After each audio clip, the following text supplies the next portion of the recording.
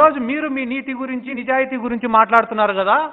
నారా లోకేష్ గారికి కానీ తెలుగుదేశం పార్టీకి కానీ నారా చంద్రబాబు నాయుడు గారికి కానీ మీరు మీకు నేను చెప్పే సూటి ప్రశ్న ఒకటి. మీరు చేసిన స్కాములలో ఒక స్కామ్ని ఈరోజు బయట పెడుతున్నాం. దానికి మీరు సమాధానం చెప్పాల్సినటువంటి అవసరం కూడా ఉంది. రెండు వేల పద్నాలుగు నుండి పంతొమ్మిదికి సంబంధించిన పీరియడ్లో సిమెంట్స్ కంపెనీతో ఒప్పందం అని చెప్పి సిమెంట్స్ కంపెనీని వాడుకొని ఆ పేరుని వాడుకొని రెండు వందల యాభై కోట్ల రూపాయలు మీరు దోచుకునే మాట వాస్తవం కాదా?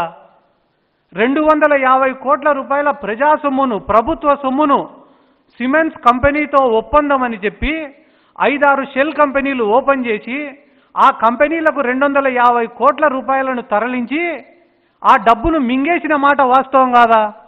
ఈరోజు ఏ మీటింగ్ పెట్టినా కూడా జాదూరెడ్డి జాదూ రెడ్డి జాదూ రెడ్డి అని చెప్పి అవహేళనగా మాట్లాడుతున్నావు కదా నారా లోకేష్. జాదు అనే పదానికి అర్థం మాయం చేయడం మోసం చేయడం.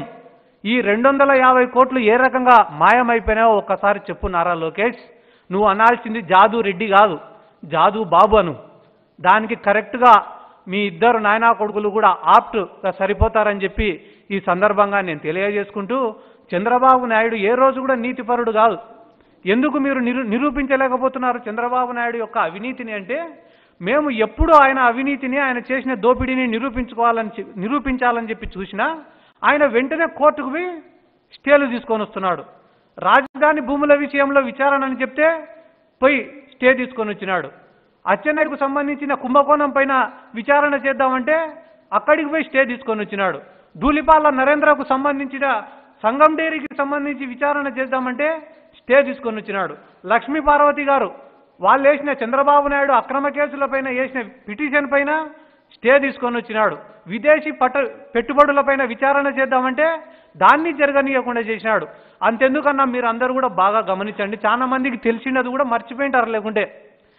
ఏలేరు ఏలేరు కాలువకు సంబంధించిన విషయంలో ఆ వర్కుల విషయంలో అక్కడ కాంపెన్సేషన్ ఇవ్వాలని చెప్పి పోతిరెడ్డి అని చెప్పి చంద్రబాబు నాయుడుకు సంబంధించిన బినామీ అనుకోండి ఇంకొక ఆయనకు సంబంధించిన వ్యక్తి అనుకోండి.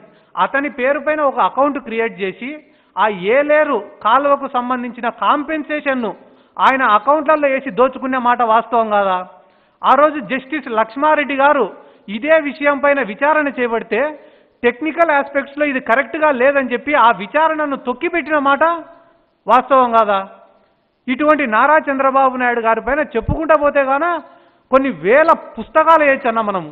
అంత అవినీతి పరుడు ఈరోజు తనకన్నా మించిన నీతిపరుడు లేడనట మీటింగులు పెట్టడము యువగలం అని పేరు పెట్టడము ఇదేం కర్మ రాష్ట్రానికి అని పేరు పెట్టడము నిజంగానే చాలా సిగ్గుచేటని చెప్పి ఈ సందర్భంగా నేను మరొకసారి తెలియజేసుకుంటూ నారా లోకేష్ గారు ఎక్కడికైనా పోయినప్పుడు మాట్లాడేటప్పుడు కూడా ఆయన స్థాయిని గుర్తుపెట్టుకొని మాట్లాడాలి.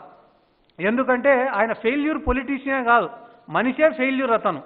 ఈరోజు నగిరికి పోయి రోజా గారి గురించి మాట్లాడుతున్నారు జగన్మోహన్ రెడ్డి గారు.